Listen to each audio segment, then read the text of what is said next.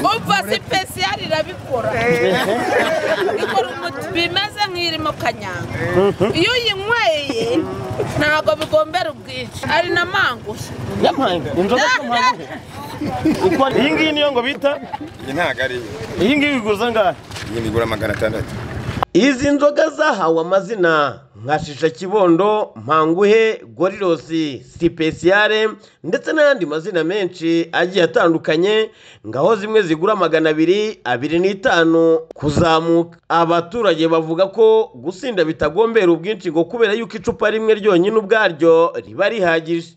Kamwe konyine karanshoboka njyewe nzi ko ndi umunywi mu banywi pe. Nanyweye inararinyweye ariko kamwe karanshoboka karanshoboka ngo kitwa? Shisha kibondo kuri rose idunda ubwonko ubwo twageraga muri aka gace ku saa tatu n'igice za mu gitondo twasanze bamwe mu baturage bamaze gusaba yangwa nubwo kuvugana nabo biba bitoroshye ngo kuko batapfa gutanga amakuru ku buntu. Uyu ni umureti sipesiyare kada ahiye ko yenze. Ahiye. Ahiye.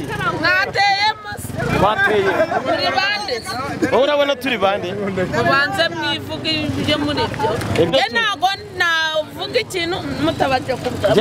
Njyewe nitwa ndahiro valence pati ndi umunyamakuru. Umunyamakuru wande Wa sarusi cyangwa wa btm Eh, btm ikorera he? Ikorera mu mujyi. Mukaba muje gutara yahe makuru. Tuje gutara amakuru baratubwiye ngo hano hari inzoga yitwa kibondo baratubwiye ngo yitwa ngo umureti sipesiyare ngo hari igura magana abiri ngo hari igura abiri n'itanu iriya yo ngo igura magana atandatu. Urazizi izi nzoga? Oya banza unyishyure ese wagira ngo ntanga amakuru batanyishyura bakishyura nk'angahe? Banza mpereza bitanu. Nyuma baje kwerura baratuganiriza ndetse banasaba ko leta yakagombye kugira icyo ikora kuri izi nzoga zikomeje kwangiza abatari bake muri uyu murenge wa gikondo. Bazita shisha kibondo kuri rose idunda ubwonko.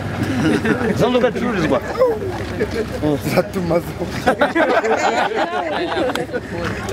zigura angahe nshaka kujya muri swingi nanjye ndakagotomera ubundi nkajya kuri mace meze neza ngo kitwa ngo iki shisha kibondo kuri rose idunda ubwonko irakudunda nu- uragenda ukumva umutwe ni we uri kugenda amaguru acuma zigura angahe akagura byinshi ugura bitanu ugura tubaza ugura serivisi nawe iyo wumva urimo kugenza umutwe uba wanyweye nk'utwangahe njyewe ntabwo iyo nzoga nyizi kuko nayinywa nayinywa rwose. Nanjye mbona bazitemberana basomaho mu ducupa dutoya. Ntabwo nzi uko yitwa sindanayinywaho njya mbona nyine bagenda bihengetse ukuntu. Ngo nyine nizo ziba zabishe nyine. Ni mitsingi anywa ni bwose ariko na yo yararunywaga ntakwigire yinuza gutyo yararunywaga nubwo akize ejo bundi. Dunda ubwo na- yashishe kibondo. Ishisha kibondo ngo rose. Idunda ubwonko ngo gorirose nawe wayimanukaga. Nta bitanu bimeze bite. Cyangwa warayihasiye koko ewewe arabeshya. Hari n'izindi bita ngo ni rumenesha.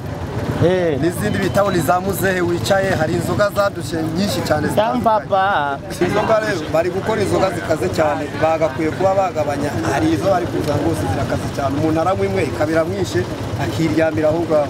Umva sipesiyari irabikora. Ikora umuti.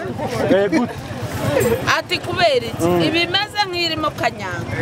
Iyo uyinyweye ntabwo bigombera ubwinshi kubera furigo itera Eh, uvuga ngo rero urakanywa ukisinzirira ibibazo byose bijugunyaho ndehe.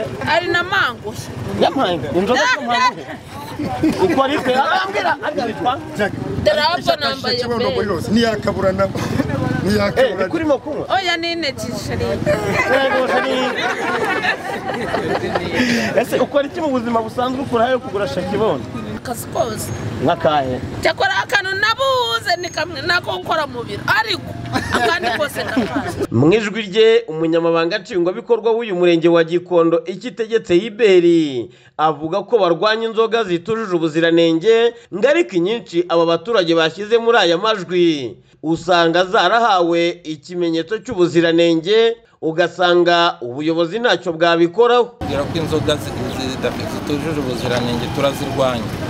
N'izo zose bavuga usanga zifite esimati cyangwa ikimenyetso cya rwanda fda ariko inzoga nk'uko mu kinyarwanda babivuga inzoga n'imfura ikanyobwa n'indi iyo uyinyweye rero utariye ukayinywa ukanywa nyinshi zirenze umubiri wawe icyo gihe igomba kukugiraho ingaruka.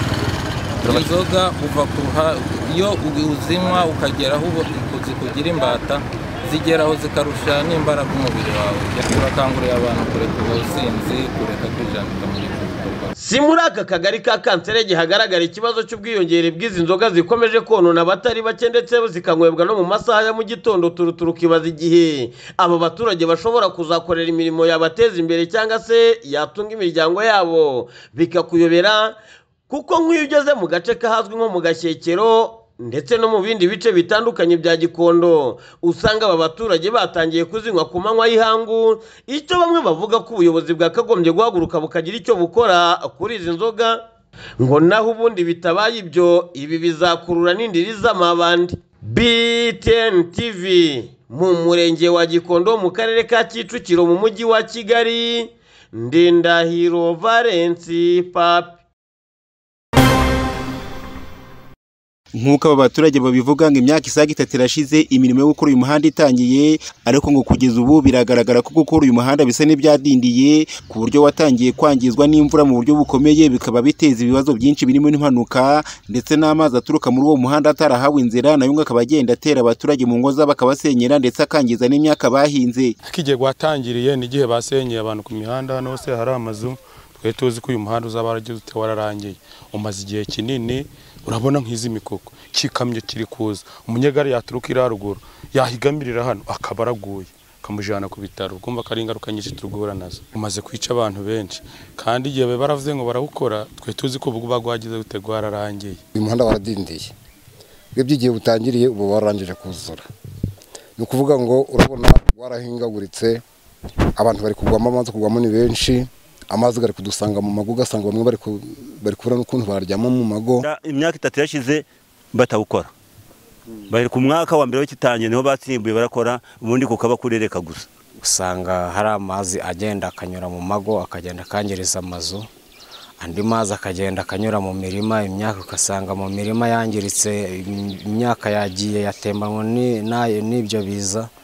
By'ayo mazi ariko usanga nyine ari ikibazo gikomeye ku baturage bose baturiye muri uno mudugudu wa runyangwe. Nta rigori ririmo hari ahantu gari kugera kagasanga bararunzemo bino bisenyi kagahita gaca umuhanda kabiri kakerekeza mu myaka gabura kujamo se kubera uburyo bahangayikishijwe n'idindira ndetse n'iyangirika ry'uyu muhanda aba baturage barasaba ko imirimo yo kuwukora yasubukurwa kugira ngo bareke guhora bahanganye n'ibibazo baterwa no kuba warangiritse cyane. Ikindi bakaba bahangayikishijwe no kuba imirimo yo kuwukora yarahagaze bigatuma ukomeza kugenda wangirika kurushaho. Icyifuzo rero twasaba nka leta y'ubumwe leta ikomeje kudu- kudufasha ikaba ya- yaduha ubuvugizi yadushyiriraho ubuvugizi aba ba rwiyemezamirimo. Kuri kino kibazo cyabayeho bakaba bakora uyu muhanda ugakorwa vuba. Dore ko ari naho ba- mukerarugendo bajya banyura bagiye mu kinigi kwita izina muri parike nasiyonari de vorukayi icyifuzo twasaba ni uko badukorera umuhanda n'ubundi kaburimbi batwemereye bakayiduha bikarangira tubonye kaburimbi kuko n'ubundi aho bawusige guca. Twabaga ugiye kurutwa n'uko rwari rumeze. E, uratubangamiye. Arega niba umunyegari atahagamara muri uru buryo akaba akubitanye n'impanuka aguye mu modoka kandi yari azi ko ari kumanuka mu muhanda muzima nta byashoboka. Nimba rwiyemezamirimo yarahombye yavuga nimba yarahombye bikagaragara umuhanda nimba ubwo batakongera gukora bakaba bawuha n'undi bikagira inzira bakazana abashoboye. Icyifuzo nk'uko leta yarabishyize mu bikorwa byo ku- kubaka umuhanda ya- yashoyemo amafaranga niba hari abo yabahaye bikananira bakongera baka- bakawuha abandi bakawukora ukava mu nzira. Icyifuzo dufite ni uko bawutangiye bawukora gukarangira. Ese niba bananiwe bagashira abandi bafite ubushake bwo kuwukora bakawukora gukarangira. Ubuyobozi bw'akarere ka musanze nabwo buremeza ko imirimo yo gukora uyu muhanda yadindiye koko bitewe n'ibibazo bitandukanye birimo n'ingengo y'imari yabaye nke maze bituma habaho kudindira k'uyu muhanda biteza ingaruka ku bawuturiye. Gusa ngo ubuyobozi bw'akarere burimo kuvugana na kampani ya NPD yakoraga uyu muhanda ku buryo ngo mu minsi ya vuba imirimo yo kuwukora izasubukurwa nk'uko bisobanurwa na bwana Ramuri Janvier umuyobozi w'akarere ka Musanze. Murakoze cyane btn Eh, ni byo koko uriya muhanda uri igihe watangiriye gukorwa n'igihe wari uteganyijwe kurangira eh, harimo ubukererwe harimo ubutinde ku buryo nk'uko mubivuga bi- bigenda ni- n'ingaruka ku baturage bawuturiye turizera ko icyo kibazo cyari cyajemo eh, cy'ingengo y'imari eh, mu bufatanye n'imikorere myiza dusanzwe tuziho NPD cyafa- cyatangiye kongera gufata umurongo tukizera ko iyo mirimo eh, izakorwa ikarangira ku buryo abaturage bava muri icyo gihirahiro imiyoboro itari itunganyijwe ijyana amazi mu mirima yabo iyo na yo ikazahabwa umurongo w'ahagomba guhurizwa n'ayo mazi. Turizera rero ko umurongo eh, biriho eh, imirimo yawo iri gukomeza bikazakemuka bidatinze. Aba baturage baravuga ko bari bagize amahirwe maze uyu muhanda bakoresha utangira gukorwa gusa ngo kuba waradindiye kandi ukaba waratangiye no kwangizwa n'imvura birimo kubagiraho ingaruka zikomeye ndetse bikanadindiza n'iterambere ryabo aho basaba ko uyu muhanda wakorwa ukarangira. Gaston Nirembere.